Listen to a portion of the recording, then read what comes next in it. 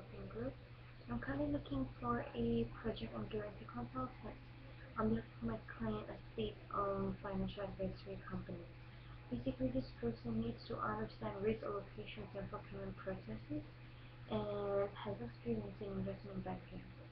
If you think you have needed requirements, please feel free to apply below.